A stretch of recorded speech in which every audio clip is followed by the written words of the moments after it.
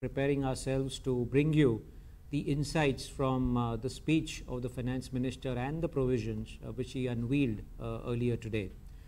After a long time, we have a clear tax policy direction, uh, it seems in the budget, in a budget speech, whether it is the roadmap for reduction in the corporate tax rate along with rationalization of exemptions, the clarifications, the much awaited clarifications on indirect transfer tax and the deferral of the general anti-avoidance rules and also the grandfathering of uh, investments made uh, prior to April 1, 2017.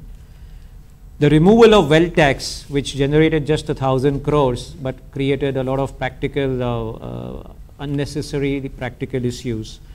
The firm commitment on GST implementation and addressing the inverted duty structure faced by domestic manufacturers. And finally, a clear roadmap on bringing in an anti-black money provision. I think it's a it's a most specific piece of legislation which has been talked about for a long time in India. We have to see, of course, uh, the the fine print, how it is worded, how do they make how do they make it uh, as uh, as uh, conducive to fulfilling the objectives without coming in the way of genuine transactions. Also some welcome clarifications on alternative investment funds and, uh, and REITs. Uh, still, I think it is partial, uh, as we shall discuss, uh, a lot more uh, uh, is perhaps needed to give full clarity on these, on these issues.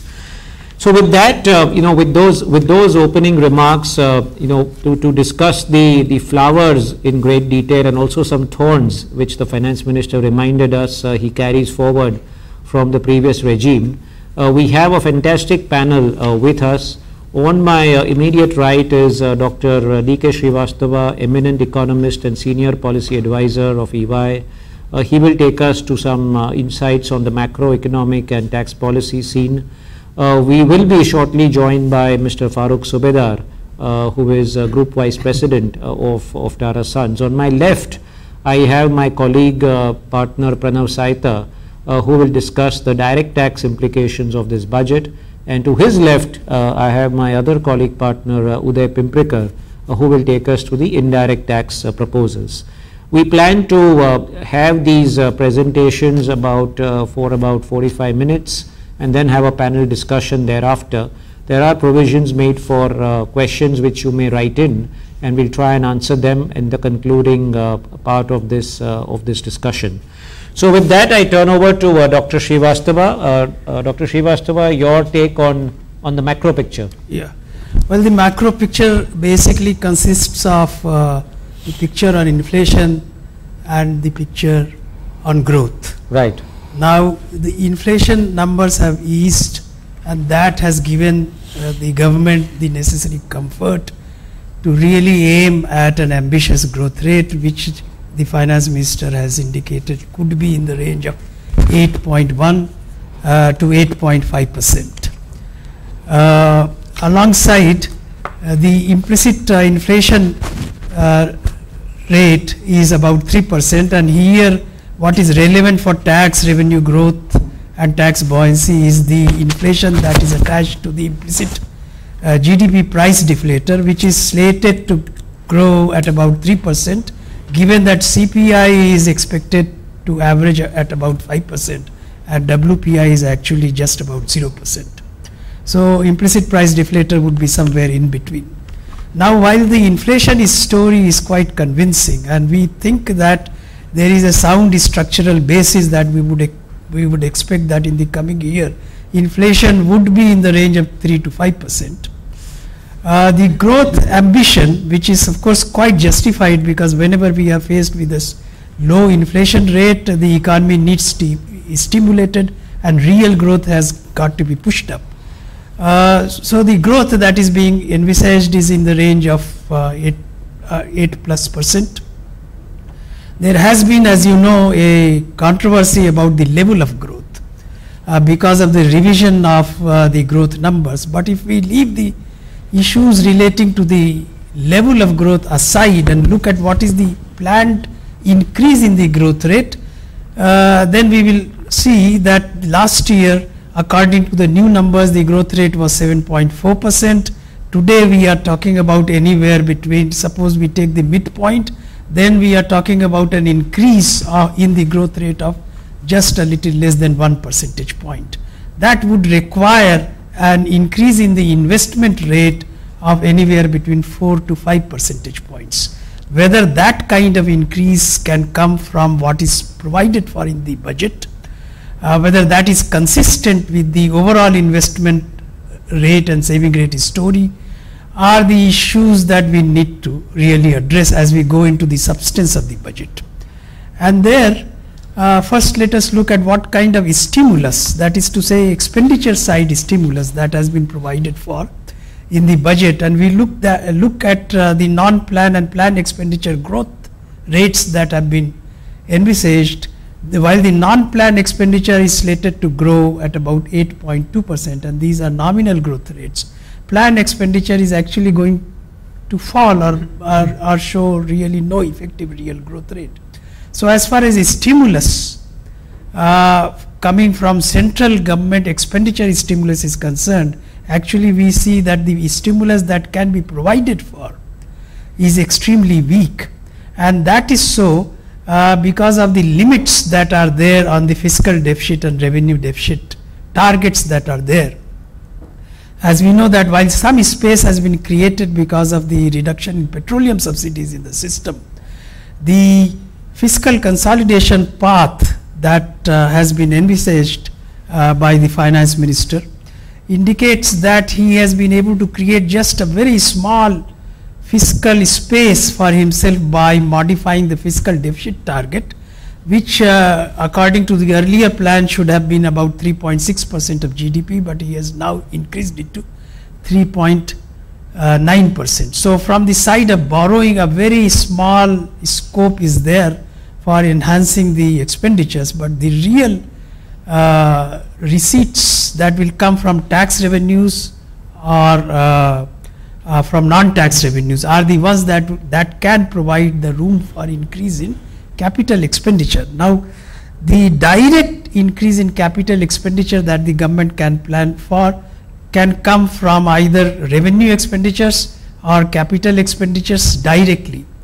And as far as revenue expenditures are concerned, most of those will be transferred to the state governments and uh, therefore the room that will come for uh, for uh, financing the capital expenditure is whether uh, the story that is being told about the buoyancy and growth of tax revenues uh, will come true. Now the experience of last year is that uh, we had actually overestimated in the budget and the uh, growth rate that was assumed was 13.4 percent we actually got 2 percentage point less. The buoyancies that were also assumed did not come to be true. This year, therefore, the base from which we have to start has come down by something like 110,000 crores compared to the budget estimate of last year. The revised estimates are lower by 110,000 crores. On that is lower base, now once again we are plan planning for a substantial rise in terms of the tax revenue growth. Overall growth rate for tax revenues is being envisaged at 16 percent, close to 16 percent. And the elements that are uh, responsible for this very largely are domestic indirect taxes. So there the union excise duty growth rate that is being envisaged is about 24 percent and the service tax growth rate is about 25 percent with a nominal growth rate of only 11.5 percent. Can we have such high indirect tax revenue growth which uh, given the experience of last year's uh, buoyancy uh, which actually turned out to be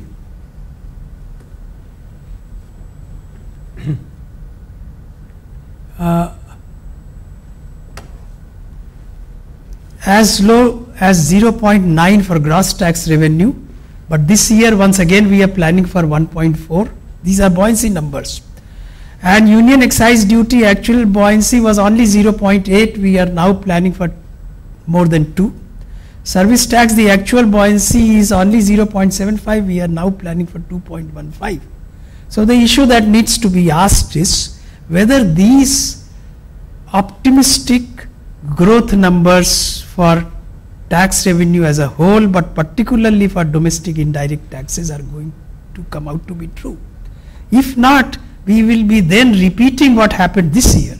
There would be a shortfall in revenues and therefore there would be a shortfall in expenditures, therefore there would be a shortfall in capital expenditures, therefore the envisaged invest investment rate increase will not happen and we will actually belie the targeted Right. growth expectations. So the issue really is whether such kind of tax buoyancies will come through or not and that's why we can start discussing what is it in the union excise duties and service Sure. tax that will take us to this high growth. Sure, very useful, uh, Dr. Srivastava. So we'll, we'll come to that again in the, in the panel discussion.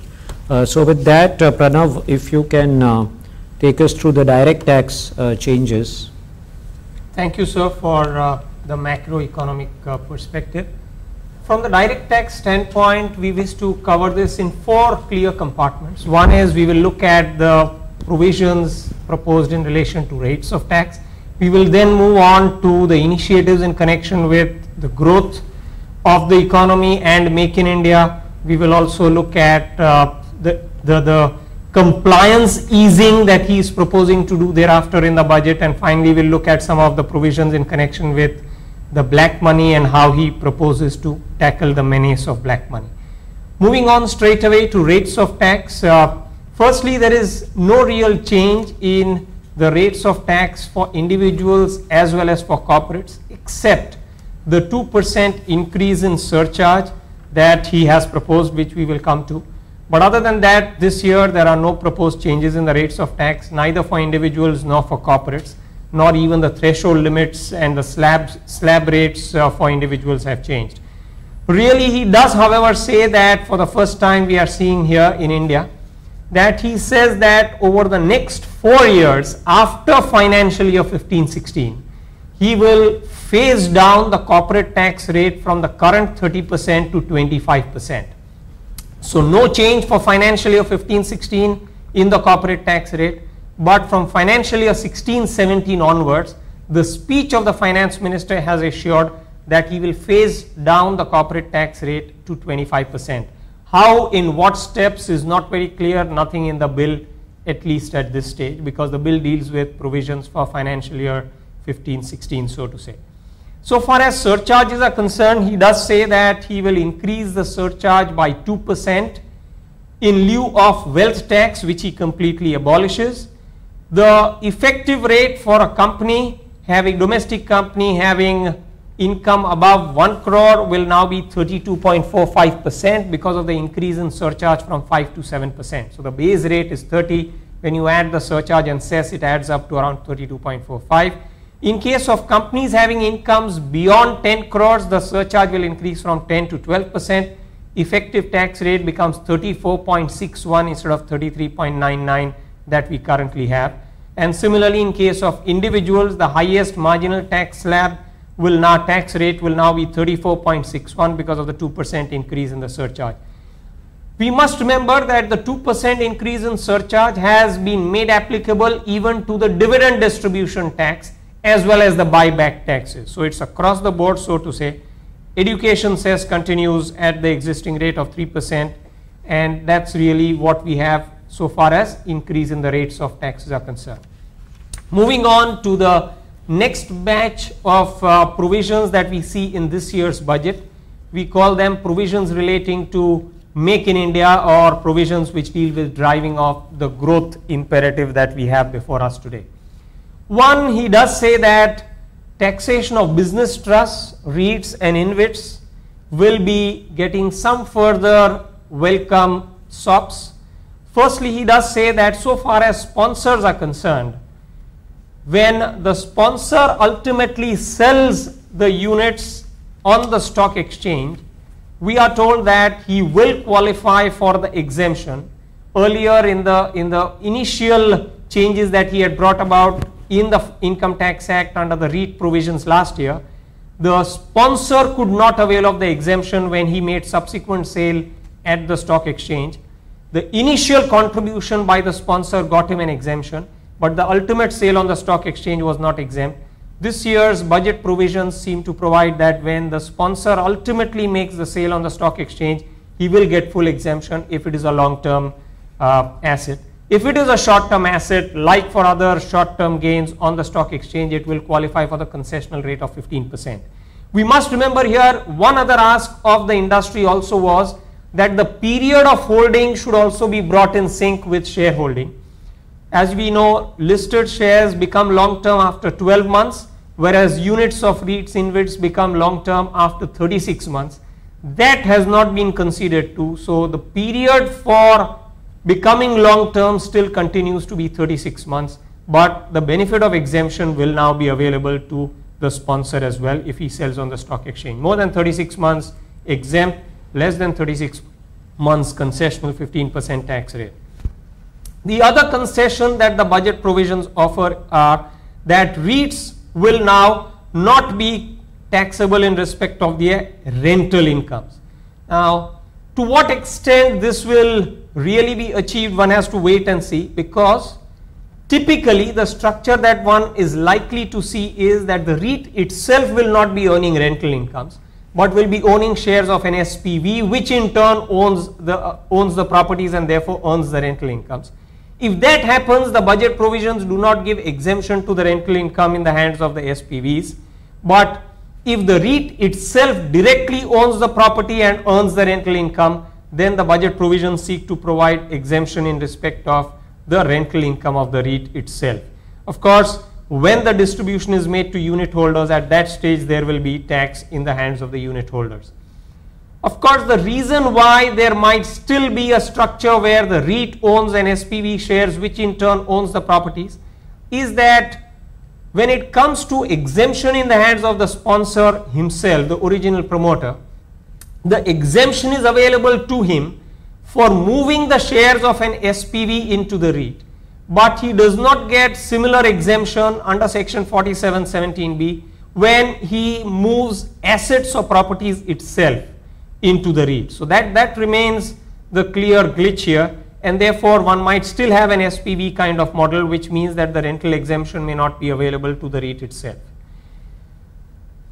Moving on further, if we look at the growth and make in India initiatives, we are talking of the REITs shall deduct tax when they are making payments in case of income to non-residents, they have to withhold tax at 10%. Of course, finally, uh, in, in fact, to residents at 10% and for non-residents at the rates in force. Even in case of residents, of course, depending upon the slab rates, ultimately the income would be taxable in the hands of the concerned resident at the respective rate. Moving on further, we all know that GAAR was expected to be deferred and that has indeed been announced by the finance minister. The bill now talks of a deferral by two years. So GAAR will indeed become effective from 1st April 2017 instead of from 1st April 2015. Additionally, what the finance bill provides is that all investments made up to the date on which GAAR becomes effective will be grandfathered the earlier, the present provisions under the Income Tax Act talk of grandfathering investments made only up to August 30th, 2010. Now we are told that grandfathering will extend right up to 31st March 2017. Certainly both are extremely welcome steps and to some extent I think it will help in terms of prom promoting foreign investments. Moving on further, in regard to 194 LD, we are now told that for interest earned by FIIs and QFIs, the concessional withholding tax rate on the interest income of rupee bonds, which, which is 5%, will be extended up to 30th June 2017. So interest earned by FIIs, QFIs up to 30th June 2017 on rupee bonds will now qualify for the concessional 5% tax rate. We are now told that fund management activity is proposed to be promoted in India and we are told that if the fund manager carries out this activity in India, it will not constitute business connection and not constitute a permanent establishment in India. Certainly a very welcome initiative. Of course, we are told that For this purpose, fund manager should be other than an employee of the fund or a connected associated person. That seems to be a little bit of a glitch and hopefully some clarification on that clearly comes through. Uh, so one does hope that some clarification there will make this provision practically feasible. But if it does becomes become practically feasible, it is indeed a great initiative. On the royalty and FTS withholding tax rates in respect of royalty FTS paid to non-residents, a couple of years back, we saw the domestic tax rate being increased to 25%. Of course, in most cases, one would be governed by the treaty, in which case the treat lower rate with, of withholding under the treaty would have been applicable. But fortunately, this budget proposes to bring down the rate back to the 10%. So we will now have withholding tax at 10% on royalties and FTS even under the domestic law. Moving on further for alternative investment funds, both category 1 and 2, we are now told complete pass-through status is what will be assured. So the only ones that remain now will be category 3 AIFs, which will not have a pass-through status. Undoubtedly a good initiative. What one must remember, however, is that we are told that if the income is taxed as business income, then this particular pass-through status may not apply. And one wonders, typically our experience has been most incomes of such AIFs category 1 or 2 would be in the nature of other heads, capital gain, etc., and not business income. So, what exactly was the objective behind this exclusion is not very clear indeed. The other is what one must remember any distributions made by the fund to the investors is subject to a 10% withholding. If therefore the investor, for example, was a Mauritius entity qualifying for the treaty exemption and therefore not taxable at all, in such cases also the way it is worded, it seems that the 10% withholding will mandatorily apply. That seems to be again something that needs to be addressed. If therefore the investor is not taxable at all, subjecting that particular distribution to a withholding will mean unnecessary have unnecessarily the investor having to file returns, claim refunds, which might be a considerable cash flow issue in the sense so far as the investor is concerned. From a point of view of promoting and channelizing savings and social security, we are told now that under the pension schemes, the subcategory of section 80C, section 80C already allows deduction from gross total income to one and a half lakhs. Now we are told that under the subcategory of contribution to pension schemes which had a limit of 1 lakh the limit will now be enhanced to 1.5 lakhs. The overall limit was always 1.5 lakh and stays there no change at all. Similarly we are told that for salaried employees contribution under the national pension scheme 80CCD the limit will now stand enhanced to 1.5 lakhs. Moving on to the next set of amendments proposed in the budget which essentially deal with curbing disputes and easing some of the compliance requirements under the law, we can firstly take the most contentious one which is the provisions in relation to indirect transfers. As we know this came about in 2012 and for a long time we are awaiting some clarification in regard to various ambiguities contained in the indirect tax provisions under section 9. Firstly we are now told clearly that unless the value of assets in India are more than 50% of the overall value, 50% or more of the overall value of the foreign company whose shares are transferred, the indirect transfer provisions will not apply. So for the indirect transfer provisions to apply, at least 50% of the value of the overseas company's assets should come from assets in India. Second, we are told that for small such investments where the value does not exceed 10 crores 100 million rupees again the indirect tax provisions indirect transfer provisions will not apply certainly a welcome step already some precedents and based on interpretations it was felt that the interpretation of the term substantial required that at least 50% of the value should come from India. This has now been clearly specified in the bill itself. Whether it will apply retrospectively, one waits to see. Will this be interpreted to be merely clarificatory? At least the way the provision is sought to be introduced, it is sought to be introduced only prospectively. But given the past precedents and given the ambiguity, this might be regarded as one provision which really seeks to clarify what was always intended.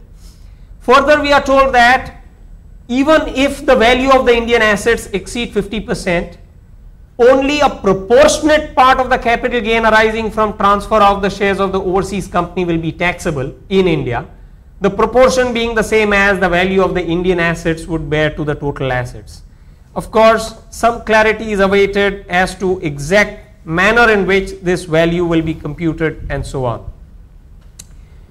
Also, we are told that so far as small shareholders are concerned, meaning shareholders holding up to 5% shares, minority shareholders holding up to 5% shares, not having any management or control rights, selling shares of the overseas company will now not be liable to indirect tra transfer provisions under the Indian income tax law.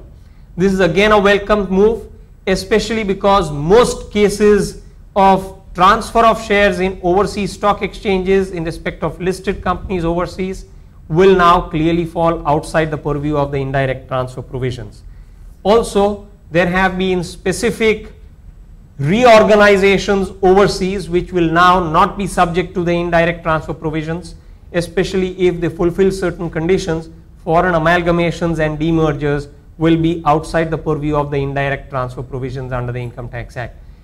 A very interesting provision which is sought to be introduced is a reporting obligation on the Indian company if the assets of the foreign company are in the form of shares of an Indian company from which 50% or more value has been derived as we just discussed. We are told that the Indian company now will have, have an obligation to report this particular transaction and if it fails to do so, it will be subject to a penalty of 2% of the value of the transaction. Now that seems quite an onerous obligation on the Indian company meaning thereby that the Indian company ought to first of all know that the overseas transfer has taken place. The objective seems to be obvious. The government probably feels that every transaction which happens abroad may or may not come to light and they might not be made aware of that transaction and therefore places obligation on the Indian company to report such a transaction to enable the tax administration to do the needful. Of course, levying a 2% penalty seems to be quite an onerous one. One could say that if the Indian company itself was not made aware because the control and management did not change, can it be expected to report something it was not aware of at all? Uh, the, the explanatory memoranda seems to suggest that this particular provision seems to presuppose that the Indian company's management control changed and therefore it was aware. But if we look at the finance bill itself, it does not seem to give any such leeway to the Indian company. One does, however, expect that it is only when the Indian company is aware of this particular overseas transaction that it can be expected to report such a transaction under the requirement now proposed.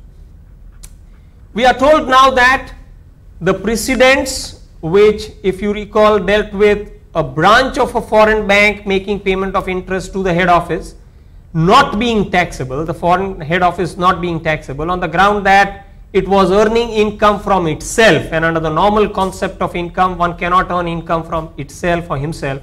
Under that principle or concept the foreign bank was regarded as not taxable.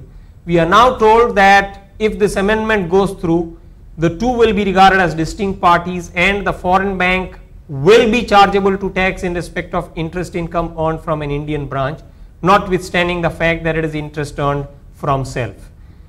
Of course, treaty rate if it is more favorable for withholding tax in respect of this particular interest payment by the branch to the head office will be available.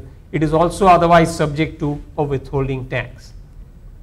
Moving on further, we are told that a share of a member in an AOP on which income tax is not payable by the member will now not be includable while computing the book profits and therefore will not be subjected to MAT. Certainly a clarification which helps significantly in terms of making the law clearer, less susceptible to litigation. An interesting provision which has been introduced is that capital gains earned by FIIs on the stock exchange will now not be subjected to MAT. The finance minister spoke about this in his speech as well. While this came out as a relief provision, a clarificatory provision which actually eases the burden on FIIs, one wonders to what extent this actually could be used the other way by a tax administration for the simple reason that today by and large the interpretation and practice is that foreign companies not having a presence in India in the form of a permanent establishment are not liable to MAT at all. Now comes a provision which would say that FIIs earning capital gains on the stock exchange will not be subject to MAT. Would that be interpreted to mean that impliedly in all other cases MAT actually is supposed to apply even to a foreign company? Will it mean therefore that other than FIIs, FDIs, private equity investors will be subject to MAT even though they have no permanent establishment, the foreign company earning even capital gain will be subject to MAT or an FII earning capital gain otherwise than on stock exchange will be subject to MAT or earning interest income we just said subject to a concessional 5% withholding tax rate will be subjected to MAT and so on and so forth. So quite a few questions may, might emerge because of this provision whether it impliedly means that the intent of the legislature is to subject foreign companies to MAT other than this particular specific exemption or, or exclusion which is now sought to be provided. One waits to see what happens to this provision in the bill before it is finalized. I am sure quite a few representations on this are likely. Moving on further, we already mentioned wealth tax is proposed to be abolished, certainly a great step uh, given the kind of revenues that were collected from it. It has however been replaced by a 2% surcharge. The collection because of this will actually almost increase tenfold. Instead of 1000 crores, I am told probably 11,000 crores. So that's, that's a step that we discussed as well, the 2% increase in surcharge. We are told also that in order to reduce litigation, tax authorities now will be precluded from appealing on matters which have been already decided in favor of taxpayers where an identical question of law is already pending before the Supreme Court. Again, certainly a welcome step in order to reduce litigation. Moving on further, we are now told that section 6 which deals with residence of Indian companies will stand amended and for all practical purposes a foreign company will be regarded as resident in India if its place of effective management is in India.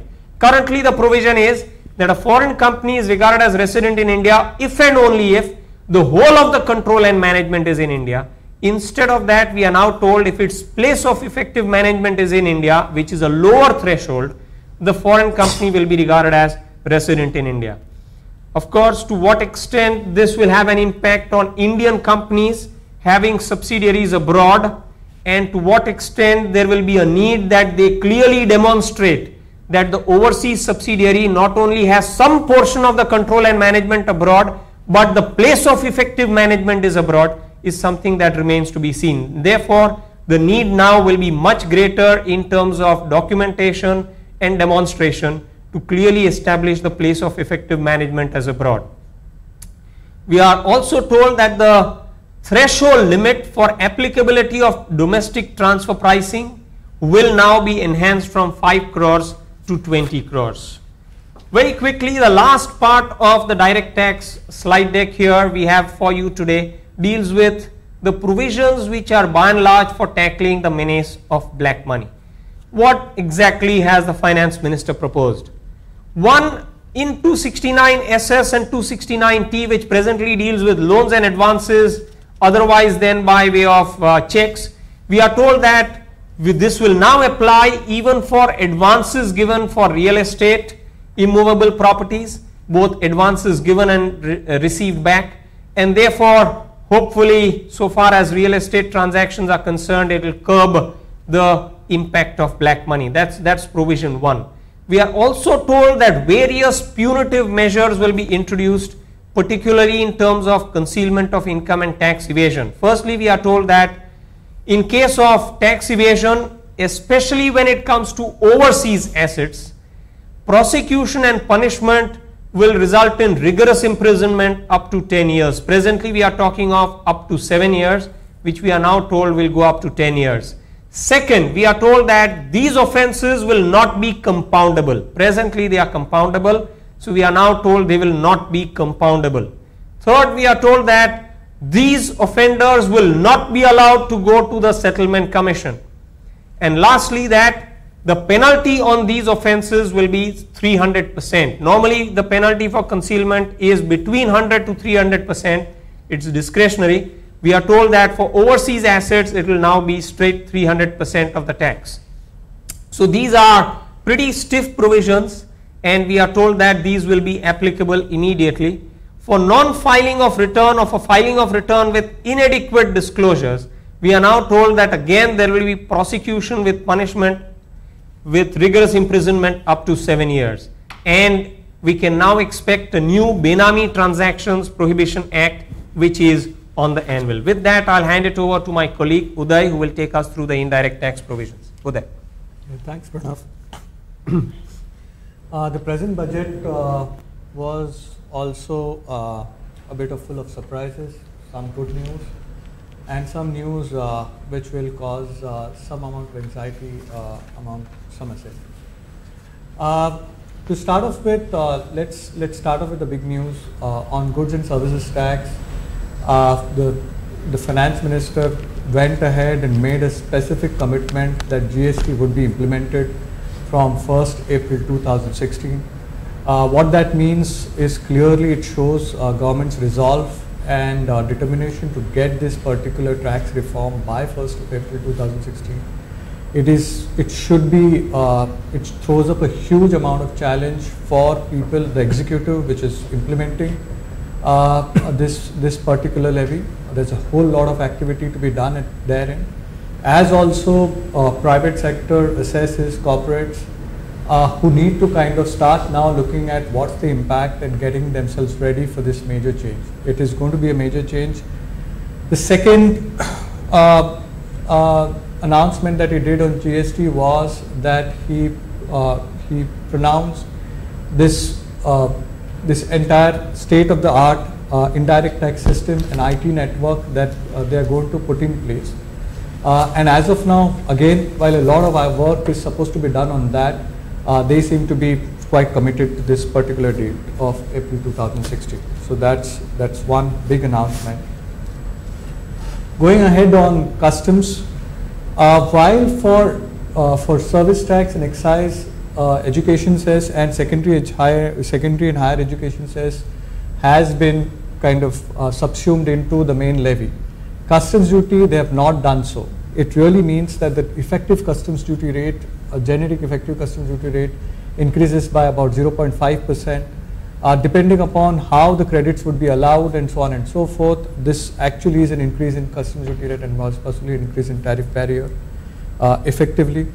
The second uh, changes that they have made on the rate front is entirely to do with uh, their entire Make in India initiative wherein conversion uh, duty incidences have been tried to be rationalized. The number of those kind of incidents are not not many.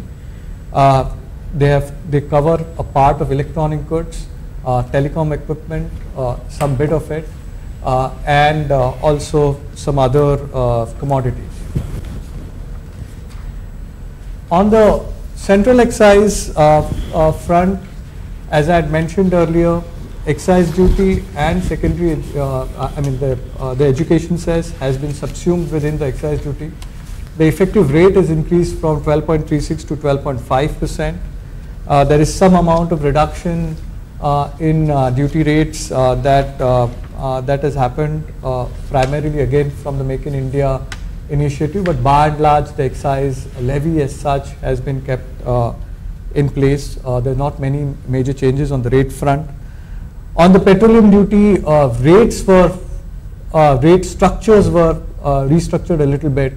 Uh, were changed a little bit, but the effective incidence has been kept in place. Primarily, uh, the, it appears that this has been kept in place to uh, allocate part of that uh, cesses uh, to uh, uh, to a particular road fund that that is being created, and there is a clean energy cess on coal has been increased from 100 to 200 per ton.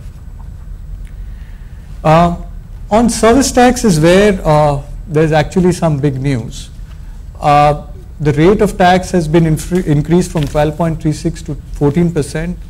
However, that's not the only news. What has also been proposed is there is going to be a uh, Swachh Bharat cess that is proposed to be imposed. Uh, the the the print suggests that it would be levied at 2% on the value of all or any of taxable services that would be notified. In the speech, in the speech, uh, he had mentioned that these would not be liable to, or it appears that it would not be leviable on all services, but certain notified services.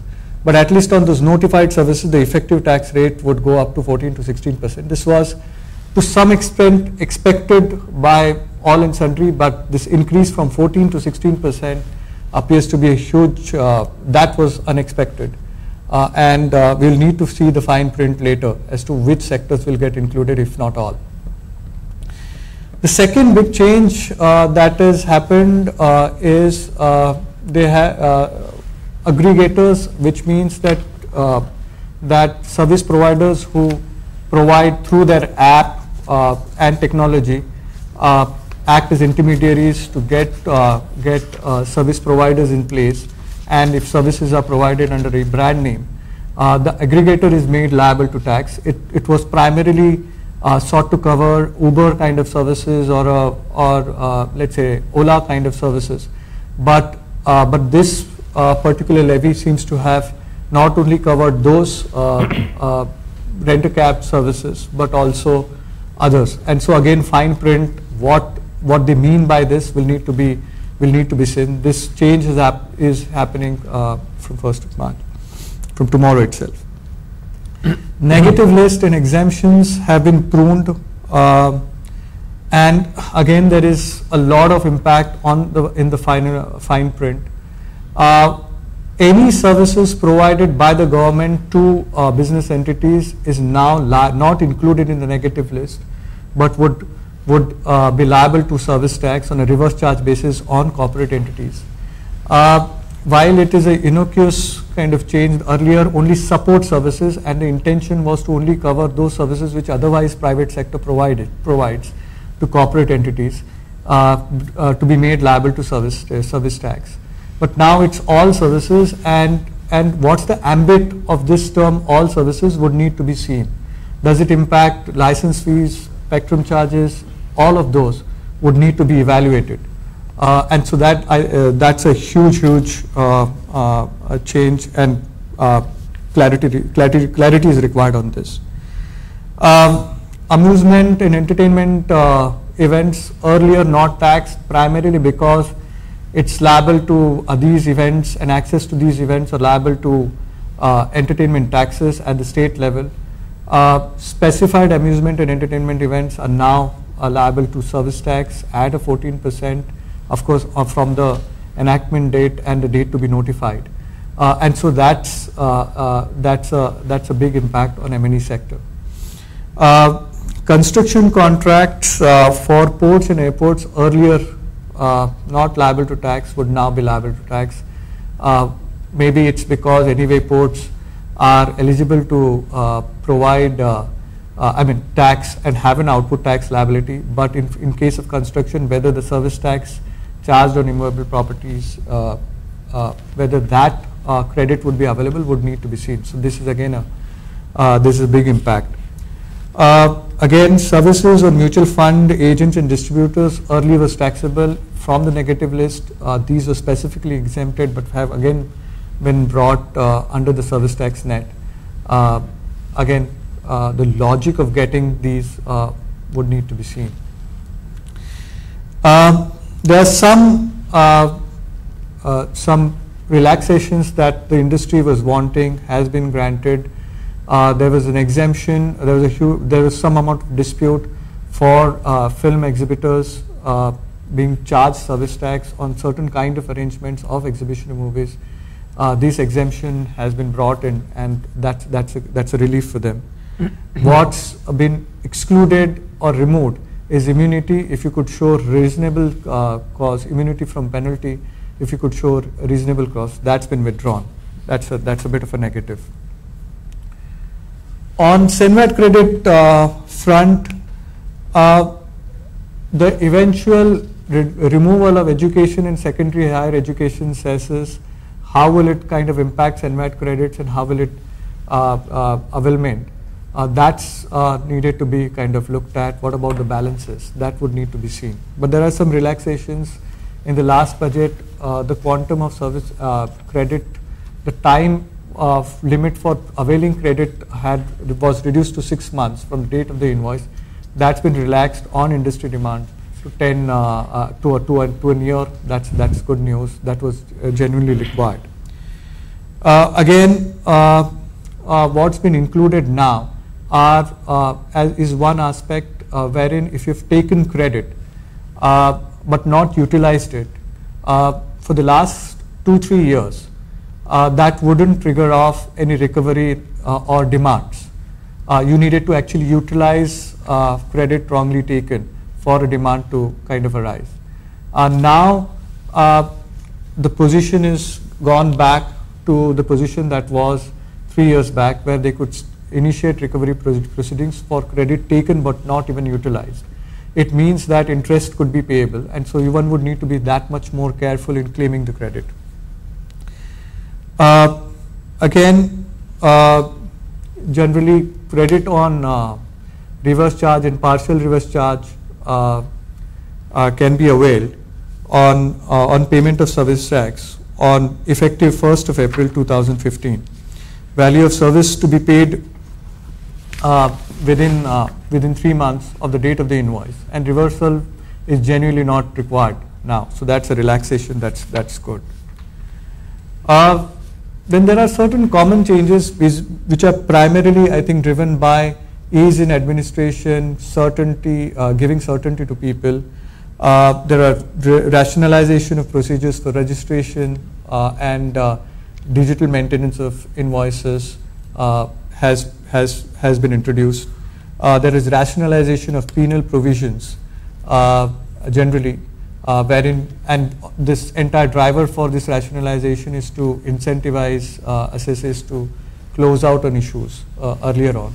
And advanced, uh, advanced ruling mechanisms have been, have been extended to even specified firms. So that's, that's good news. that's it for me. Okay, thank you, thank you. The, Farokh, you know, the, on, from an industry perspective, the first one we watched the, uh, uh, the finance minister's speech together earlier in the morning. The news was that there is a phased reduction of corporate tax rate uh, to 25% in the next four years. No mention at all about any increases immediately.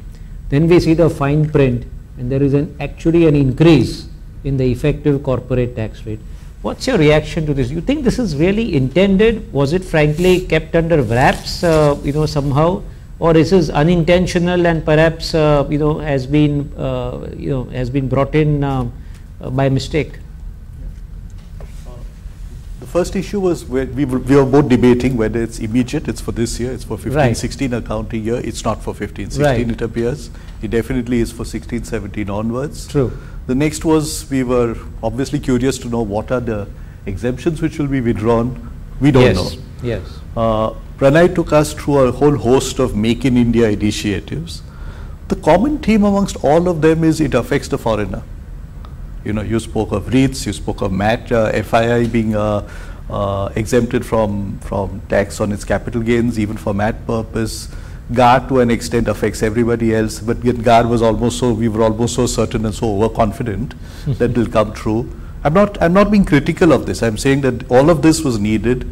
Fund management for years on end, we used to struggle to uh, effectively beat the system by saying that, you know, you are actually running it from India, but you're saying that it's run from abroad. Uh, all our tax advisors used to advise us how that is supposed to be done. Uh, but you know, I mean, what is in it for the Indian? I don't see, I don't see anything which really affects the Indian, except for this big hope that our rates of tax will come down Right. to 25 percent. And considering that we've had a MAT, the exemptions also in any case were restricted to roughly a 20 percent regime. Yeah, you're right, uh, Sudhir. I mean, there is always a little bit of a fine print. I don't know why this couldn't have been mentioned right up front. Uh, like all of us heard of the fact that we will not pay insignificant amount of wealth tax if at all we were paying it, but we will pay a huge amount in the in the two percent additional surcharge.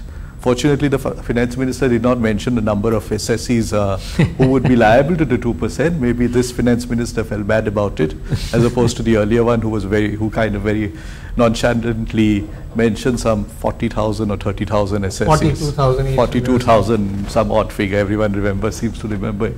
I hope it has gone up, and I sincerely, as a citizen of this country, would like that number to be much, much, much higher. I just cannot imagine how it can be as low as that forty odd thousand number. Absolutely. And that brings us to the other point, right? This, uh, it seems a first of its kind law is now being talked about, uh, anti-black money law. We of course had the Benami uh, Transactions uh, Act 1988. Uh, not sure how effective that has been. Uh, but you know, in- when it comes to a, black money law, and we'll come back to some service tax issues, for example, where you had some very, very, you know, penal rates of interest prescribed in the last budget. Uh, the concern always is that the intent is good, but if the law is so draconian, and and and more importantly, if the interpretation or if the language of that is open to various interpretations, how do you? What is the check and balance? You want to, you know, enable, as you said, make in India, at least not have disablers, and you have this very noble intention of trying to crack down on black money. What's what's your sense? You know, is is it something which the government will be able to pull off without, uh, you know, without avoidable controversies? I wouldn't put the other one of the service tax interest rate on, on par with the black money. Right, I think right. this is something which all of us had been Sure. telling the government there's so much money outside India. Sure, sure. The FM himself said that whenever there's a list announced or revealed Yes. uh, by, by somebody, there's always an Indian or a, a whole host of Indians in it. So this is something which definitely needed to be done. It's a question of the enforcement, Sure. to what extent it is going to happen. Plus, of course, the fact in today's day and age of, uh, of information, there is so much information floating around or either uh, revealed rightly or wrongly or whatever, but I mean that information needs to be used. Sure. Yes, I, these kind of laws will always have an extremely strict uh, kind of Right. compliance or non-compliance uh, uh, penalty. We've, in the past, people always used to say who has ever gone to jail. Right. But I'm sure this, these are things which will happen in the future, and rightly so they should, you know, because I mean, if you have one set of people who are the honest taxpayers who pay their taxes, and somebody else manages to beat the system, yes, the, the law should definitely be much, much stricter against him. Correct, You know, correct. You know No, somebody paying a little less tax and he pays a little less interest, yes, that is, I and it suppose, should the serve point. as at least a, a very uh, credible deterrent when you have such uh, you know strict provisions. Uh, so you know that to that extent, yes. So if I come to you, Dr. Srivastava, you know this point about uh, anti-black money measures. Obviously, one is trying to uh, see uh, an increase in the tax base uh, because that's the and you, you pointed out some very important statistics that without increasing the tax base, where is the money going to come from, and how will you have your fiscal discipline?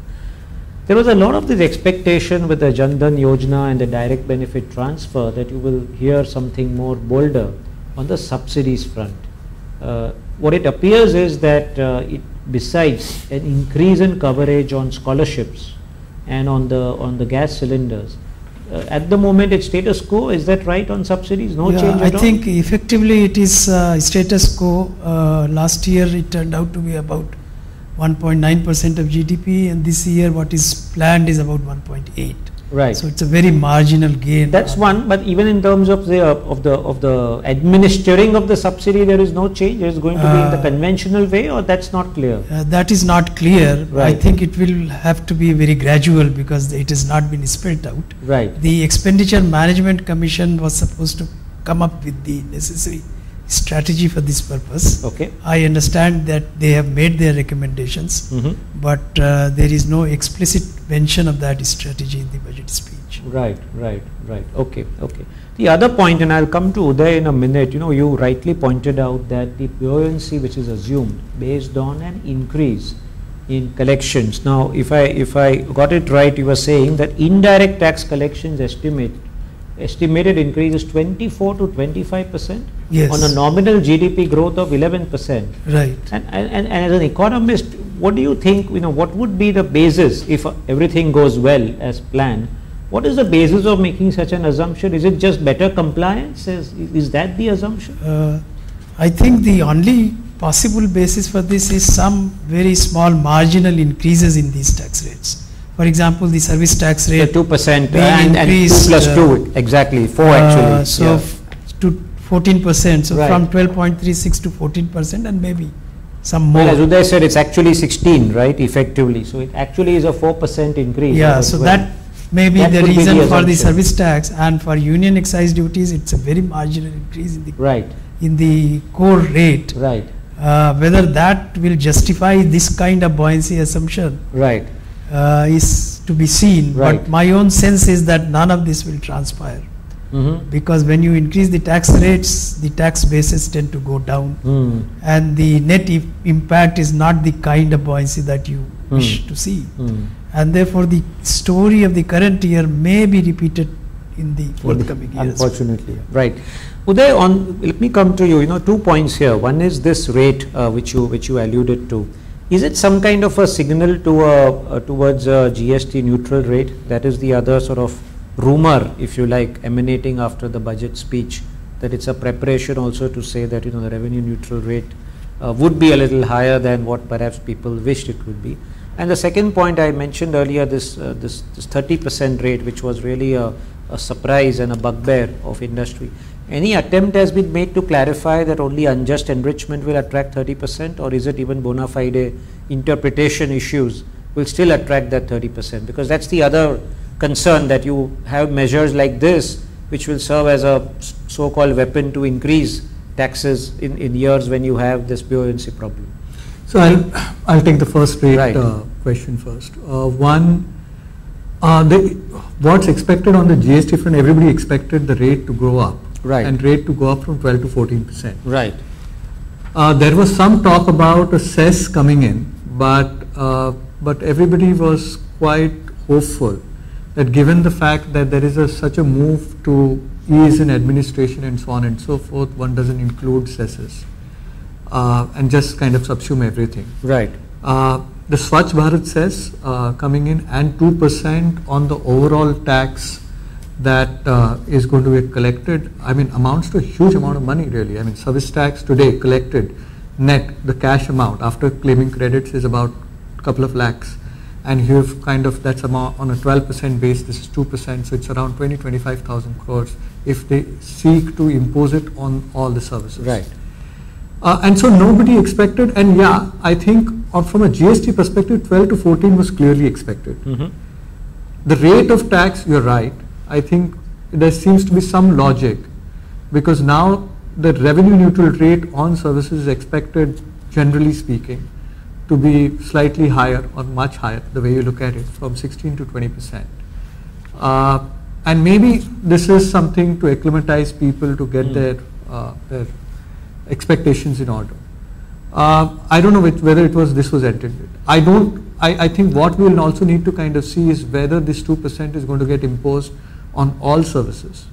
Uh, the more they increase, I, uh, I entirely agree with uh, with Doctor.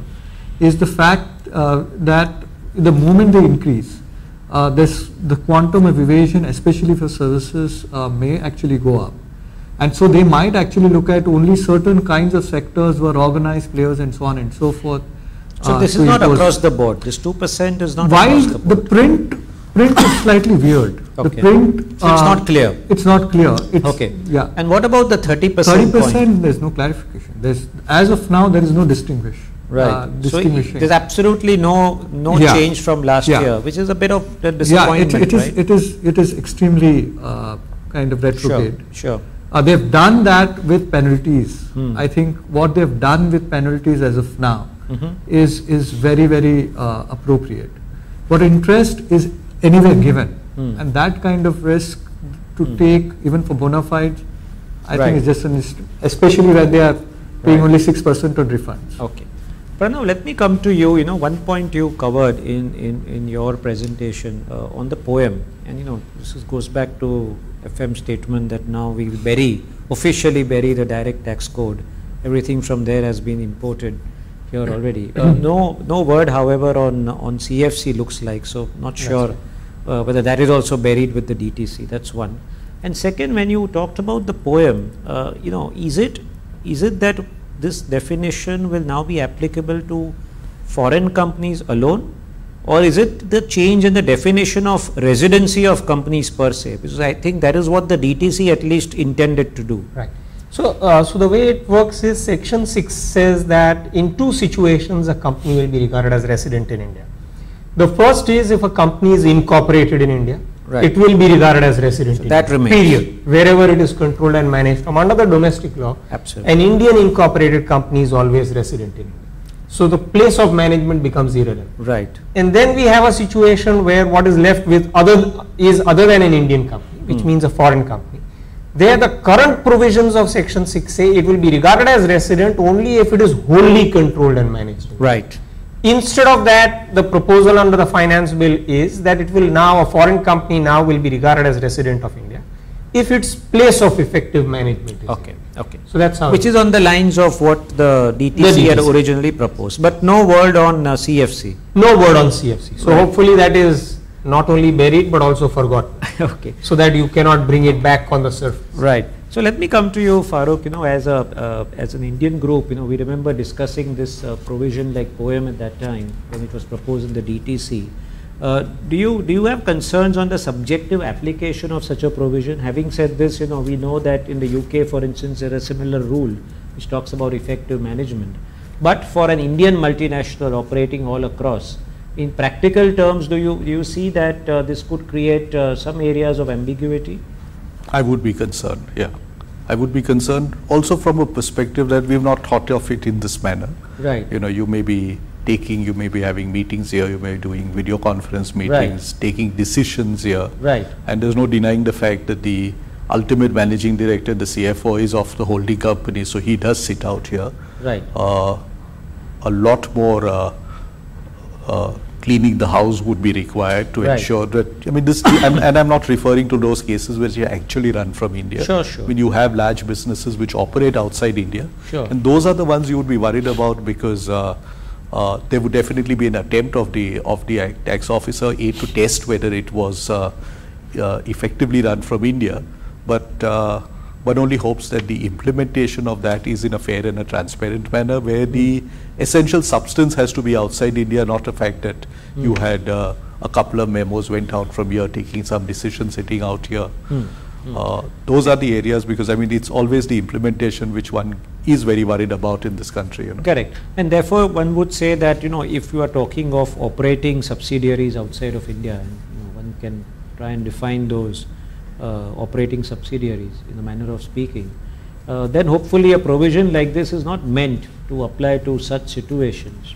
Uh, and, and, and how do you ensure that again guidelines are issued in to the effect that you know tax officers don't become overzealous.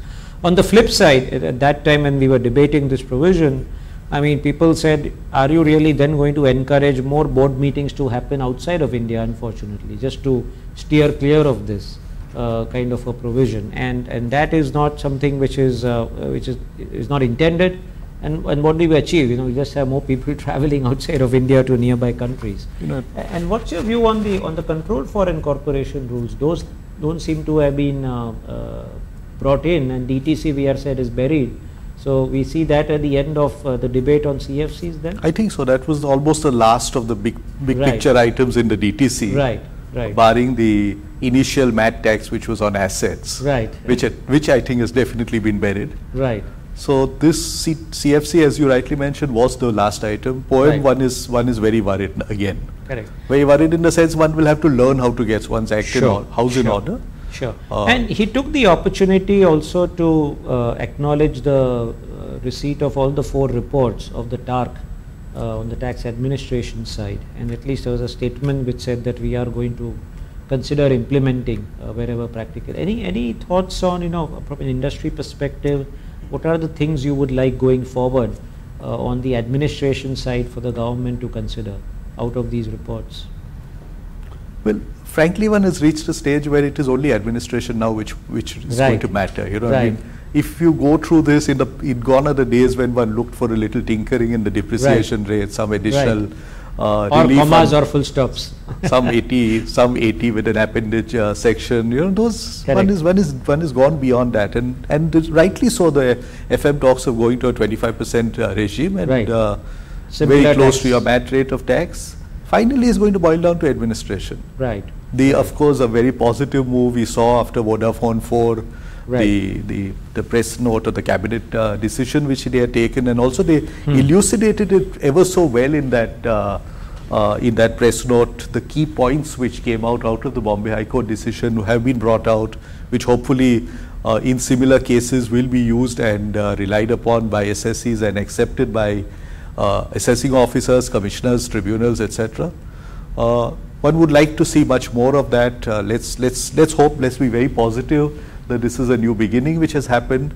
Uh, I was also happy to find the the the finance minister, though from a different party, uh, referring to the DTC and giving it sort of in a very decent, complimentary manner. You know, Right. It wasn't that manner. conflicting way. Yes, you know, that's anything which was done by a previous government is wrong. You know, Right. it was Right. it was a very bright uh, manner in which it was. It very came out. mature Yes. approach, uh, uh, non-partisan approach. In Dr. Srivastava, on you know he this announcement on gold monetization, uh, and, and again there's a uh, some interesting debate around what what could this mean, and how much uh, would it uh, succeed in driving you know uh, gold deposits away from the non-productive side to the productive side. So again, uh, uh, Subedar and we were together in the morning and one discussion was would it encourage let's say you know temples in India have a lot of uh, what we call gold metal as opposed to jewelry. They have jewelry as well but a lot of gold metal. Would, would, would an attractive gold monetization scheme uh, you know ensure that a lot of that gold uh, sort of gets exchanged for the bonds they are talking about? I mean what is as an economist what do you see the positive coming out of this move? Uh, Yes, the, definitely the idea is to release resources which are caught up in uh, investment in valuables as well, which has become a good part of our investment story. Okay. To release that and then it uh, goes into productive investment. Whether uh, the holders of such physical gold in terms of the religious places or in terms of households would be attracted to move to start to earn income by investing in the gold related equities and whether this will be an effective augmentation of the overall investable resources is to be seen but i think uh, they have thought about similar ideas earlier. In uh, in one way or the other all of those failed I see. and uh, therefore whether this will have a major impact or not is difficult to see In your view, what could they think of designing it differently to make it? Is it just the interest rate part? it has to be a higher in return okay. on this Okay. and if the return is something like 10 12 percent maybe people will be attracted But it also means higher borrowings for the government, right? What does it do to your fiscal discipline then? So it's it's irony, right? If it is successful, that means more borrowings for the government. So are we talking of government balance sheet being burdened here, or is it is it going to be Well, off the balance if, sheet? if, uh, if uh, the funds become available to some of the more specialized of the main fiscal uh, deficit account Mhm. uh, in terms of uh, certain uh, funds that are going to be set up who may be uh, lending directly to investors so that it is not a borrowing by the government but uh, but by these Uh, specialized SPV kind of an SPV kind of vehicles. So then it may not become part, directly become part of the government unless it chooses to borrow from that fund. Uh, so uh, it may become more generally available to investors. To that extent, it may be useful. But if it becomes uh, available only to the government for borrowing, then it's just switching the source of borrowing. That, that doesn't. And that would not be. Uh, uh, of And how does it work? At the end of the term, you are supposed to return the gold back to the original Yes, holder? if the holder of the bond were to ask the government or, or the body that floated that bond right.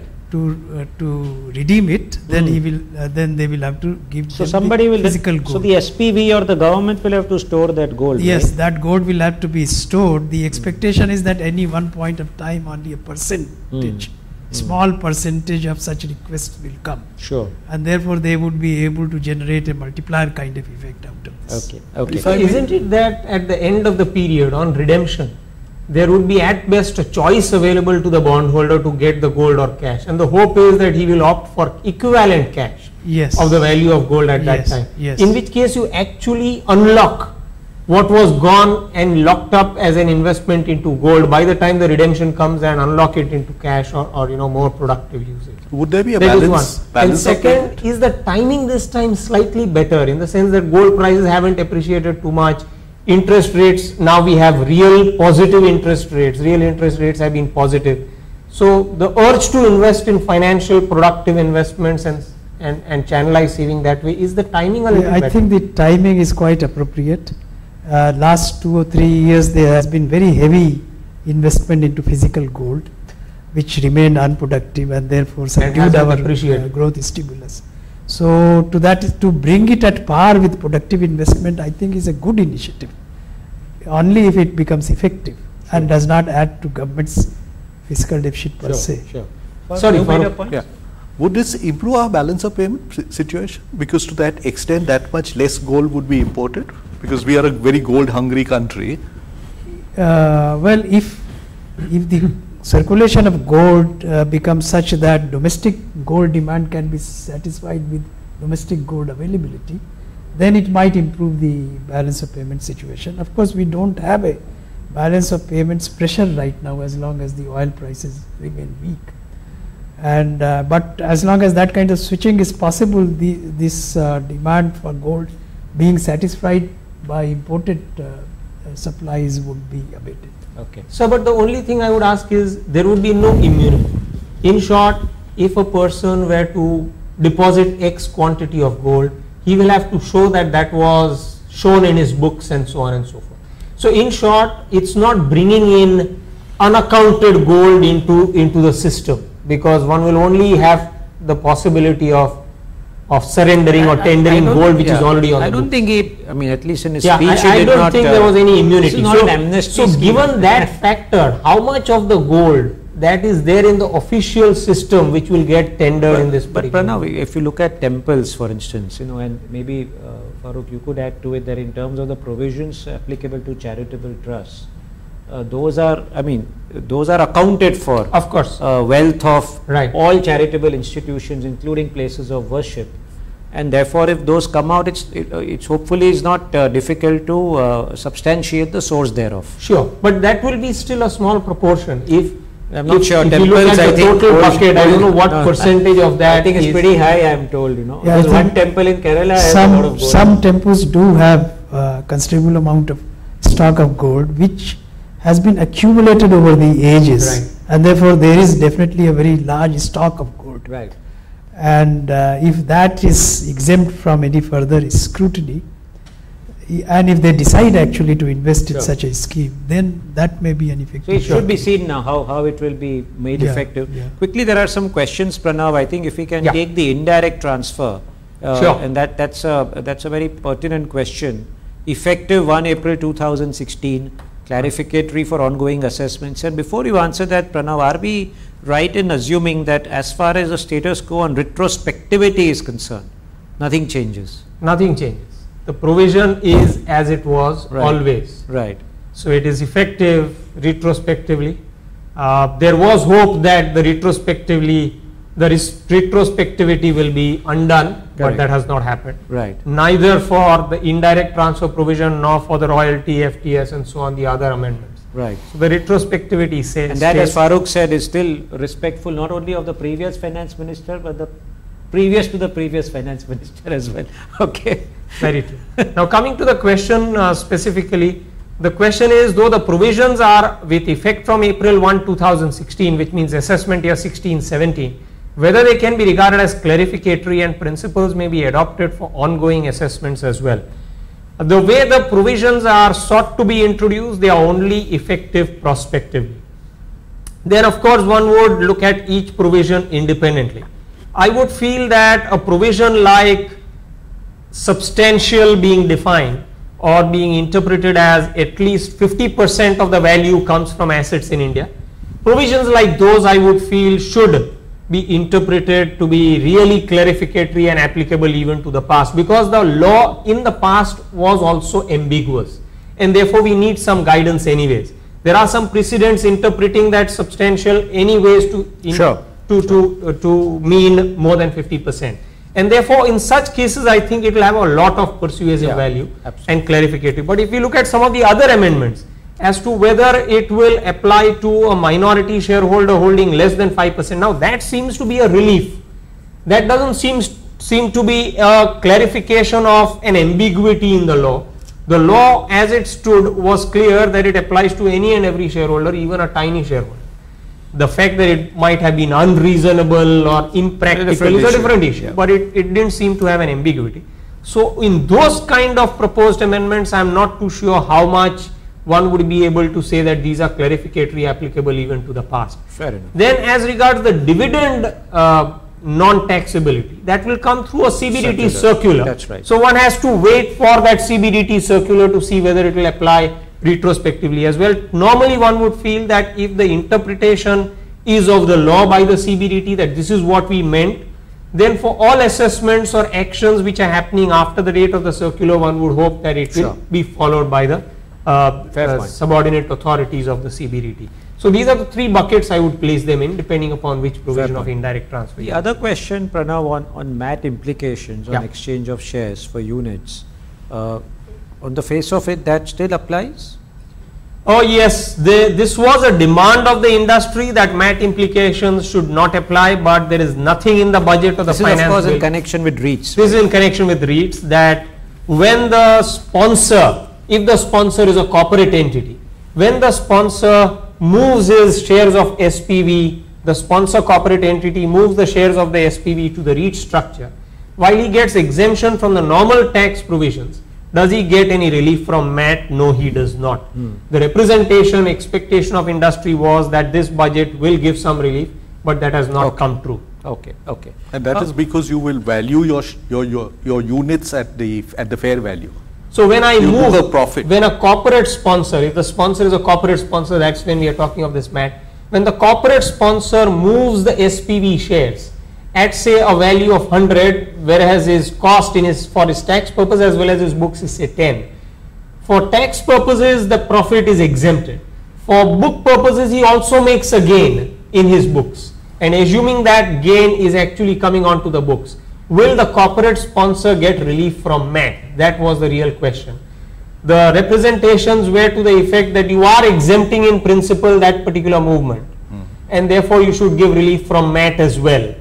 But that was the ask of industry. But this finance bill does not really give any relief from a MAT perspective. Okay, okay.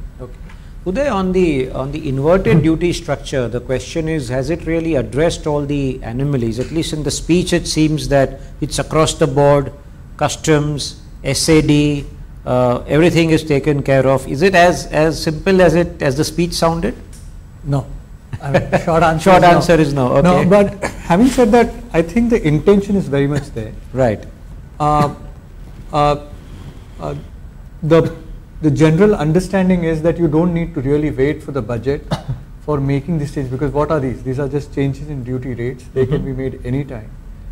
Uh, and so, if the intention is there, I think I would be hopeful that they would look. So no, the ch- rates have not been changed, you mean to say? So the rates have been uh, reduced by Reduced. yeah, by exemptions and so on Right. and so forth. So will And it anyway, not once help- you're reducing the rate, Yeah. you can just do it by exemption notifications or reducing rates or Okay. kind of. And so one would hope that uh, the industry could continue to kind of identify those issues. And there are several instances which have not obviously been addressed here. Uh, uh, and they could do it and not. So what is it that is is not addressed today? What was the industry ask? His whole thing was about import versus, you know, you're incentivizing imports versus uh, encouraging manufacture in India uh, because raw materials for manufacture would, would, would be more expensive. Now, if he has reduced customs duty, hasn't he addressed that point? So there are a couple of things. And Right. fine, the, the reason why I said not entirely Right. is, is, is the fact that he's identified and gone ahead and tried to rationalize some industry sectors. Okay, Where this so it's not across the board? It's not across the board. Okay, Uh, it covers the sectors which people had asked for, or it is only covering I think some of the sectors. Okay, not all. Okay, okay. There are several instances, even in the manufacturing and the services sector both, Right. where there still exists some amount, uh, there is a case for, uh, for uh, suggesting that there is inverted duty structures, there are credit uh, uh, issues which are rem- uh, remaining, there are actually certain provisions which are, which bear no logic and are creating the inverted Right. duty structures in both sectors. Right.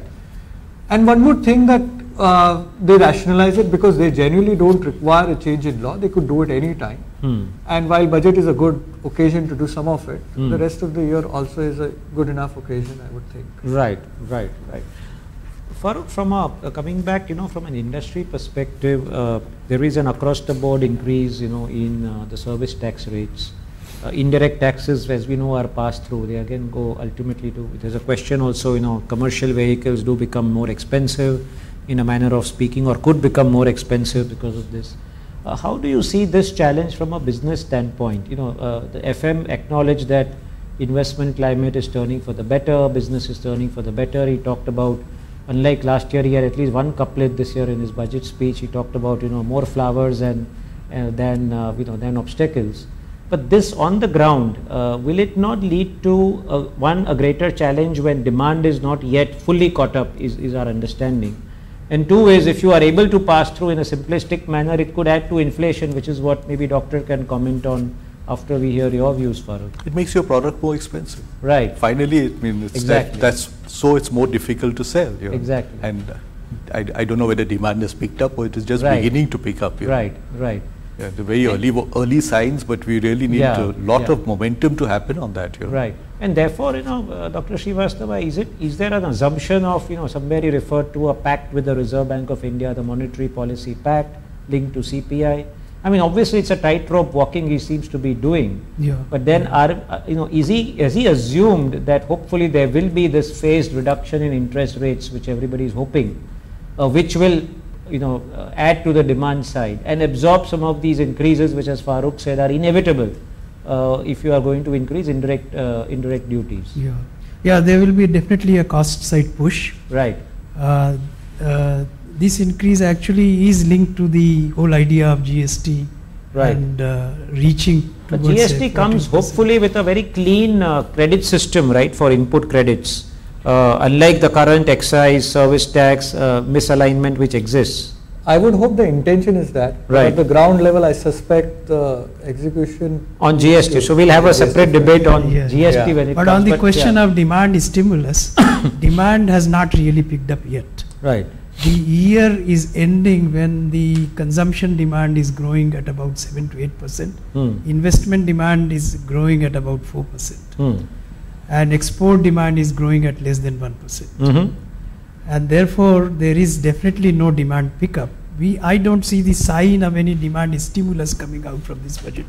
Constrained as they are from the revenue side. And they are beginning with a very negative Hmm. uh, starting point, Hmm. where actually they suffered a massive revenue. So what will, so, sorry, uh, uh, so what will pick up, so that point again got debated earlier in the day when we were together in the chamber and the question was, what is it, and, and maybe it alludes back to what Farokh was trying to say, that what is it in, in concrete terms, in terms of make in India or making demand pick up uh, in this budget, you know, is, is, are there signs like this which you see in the budget? Uh, from uh, the demand pickup is not really coming from the central budget. Sure, The expectation is that now that the states are receiving big one, right? transfers, Huge, uh, they might be persuaded right, then to spend more on schemes that they themselves design and prefer absolutely. and they will have a larger capacity even to increase capital investment from Right. their side so that would be one and then their expectation is that actually the inflation story is stronger Hmm. and uh, therefore the Stronger meaning more positive. uh, Inflation is uh, weaker. inf- inflation is weaker Right, and story right, is stronger Yes, yes. and therefore the RBI would be persuaded Right. To reduce the interest rate by something like 75 basis points during the course of the year, which will then induce the private sector demand to That's pick the, up. that's the. If I- And, Sorry, yeah, Sorry. fine. and, and therefore, uh, there are That's the- supplementary actions that are to come from state governments and the household and the Hmm. private corporate sector for this story to go through, but it's not going through from the central budget. Sure. Sorry, Farokh. From a crude perspective, uh, we've had we've had a dream year as far as this budget is concerned, I suppose, because of the fact that the prices have come down, and but they had also expected. There's a lot of expectation of it going back to seventy dollars. I mean, that's anybody's guess. Uh, what would you think the finance minister would have factored it factored his budget at? He would have used some assumptions. Yes, yeah. Well, I think uh, people are expecting that it would be uh, in the range of 60 to 65 dollars, and uh, that is still uh, very beneficial for India compared to the kind of uh, crude prices that we have witnessed uh, in in the recent past. But the while the crude makes a direct benefit for government budget only as far as subsidies are concerned, it does have an uh, impact on inflation as a whole which has an adverse impact on anything that is ad valorem in our tax system. So when the inflation goes down, actually, Right. Everything that is ad valorem, and that is the effect that we are seeing in terms of the depressed revenues coming from union excise duties. And not only this, sales tax that is for the state governments. They states after states are saying Hmm. that they are now seeing depressed revenues because they are highly dependent on ad valorem tax rates, and even their petroleum taxes are ad valorem. and therefore, uh, there is this there is this adverse impact of this very beneficial uh, event that is happening Hmm. and the adverse impact is immediate. The benefits come later when demand of households pick up. There's so always a lag, right, in, Yes, in that yeah, sense. yeah. Which brings me to the other important point, uh, Dr. Srivastava, uh, to just round this up. Uh, at least in the budget speech, one did not find explicit mention of any uh, divestment revenues. Last Yes. year, he did refer to it uh, in, in, in- in some ways obliquely, in some ways explicitly. Uh, when you talk about, you know, tax buoyancy challenge, will that not be a significant element uh, for, and I'm, I'm not sure, how, how, what is the budget Well, what the, the on, on the divest, divestment side, what is budgeted comes through what they budget as non-debt capital receipts. Right. There, there is no significant increase compared to what was budgeted is last forty year. thousand crores around? Uh, last year, what was budgeted was about fifty-four thousand Oh, crores. 54, okay. Uh, which was not realized. So Right. I am told that until January only 24,000 crores were Right. realized. Uh, and uh, therefore he has not even mentioned it Right. because it will have, they, he will then have to acknowledge Right, that uh, they. It's not uh, met with, Yeah, yeah. they, uh, they failed actually to translate that. So the, he has, I think, something similar. This, in terms of relative to GDP, is almost the same amount. right, So on non- non-debt capital receipts, he is budgeting 1.6 percent to come through, and uh, which is something quite similar to what was budgeted last year. hmm. So I would think uh, that they are budgeting something like close to 70 to 75,000 crores this year. seventy to seventy-five? Yeah, Okay, that, that, you mean to say the backlog of this year and then and next and as uh, the next year. yeah. But that would all. include also spectrum, coal and so No, on, the or it would only spectrum include and uh, coal would of go to the state governments, and the spectrum will come in non-tax revenues. Okay. So this would be mas- mostly divestment only. Wow, okay, okay. Great, I think we are coming to the end of our, of our time schedule. Farokh, any, any concluding thoughts uh, from an industry perspective and any change in mood swings from morning till now as far as you are concerned? I wouldn't say mood swings. Uh, I don't think the fine print has brought out anything really like a howler. Right, Uh, which is saying I a lot, that- you know. I think the direction which has been set of this 25% is what is very invigorating. It will possibly keep us going uh, down the road. Right, Uh, considering that we've uh, the incentives were almost a thing of the past, we don't have too many of them. Maybe we will not lose too much. And in Right. balance, I suppose it's not that we are going to pay less taxes. Uh, the finance minister obviously needs a, a larger revenue base, and that is something which the the number crunching will be done. Uh, but I think it's it's just that that rate is is so, so much more uh, acceptable as a rate. The world also will look at us as a less heavy taxed burden country, and with the with the hope that uh, implementation of the tax regime will also be in a softer manner, which I think one is, as we spoke about, some of the early early si- signs we're seeing towards that. I, let's let's hope uh, on an, let's let's try and end on an optimistic note that uh, one is the economists will ensure the demand revives, and uh, which will help the uh, which will help corporate sector to produce more profits and uh, give more taxes to the government. Excellent, excellent. Pranav, any thoughts, any concluding thoughts? So I mean, uh, there is some disappointment that there's not too much for investments in infrastructure, manufacturing, probably very direct. But the way I look at it is, he's saying, okay, the corporate tax rate will go down over a period of time. Invest today when you make profits, really maybe in three, four, five years you'll you'll pay less. The other is he's saying no GAAR for investments made till 2017. So invest immediately. That's the need of the hour. Please invest now. So he's calling foreign investors to invest before March 17. Third is when it comes to again incentives, exemptions, they are going to be phased out. So if industry wants to invest into new projects, please invest quickly so that you get the exemption window open and it's going to get phased out. So I think he's trying to get investments immediately and over a period trying to balance the fiscal. Absolutely. I think what is clearly coming out is the finance minister seems to be telling uh, business and the people at large, both in India and abroad, that the train is uh, slowly moving the moving out of the platform. Get on it pretty fast before it picks up speed and hopefully becomes a bullet train, uh, as as as as everyone is hoping, and as this government has uh, made its intention clear. Clearly, uh, all our panelists believe that uh, on balance there have been more flowers uh, coming back to the couplet uh, uh, Mr. Jaitley recited uh, than even, even, even when you read the fine print, than the obstacles. We do hope that is how it will pan out in the year ahead. We wish the finance minister and the government all the very best as they go about improving the collective lives of businesses and the people of this country. Thank you for joining in and we hope to keep our dialogue alive the year round on various topics uh, as they unfold. Thank you.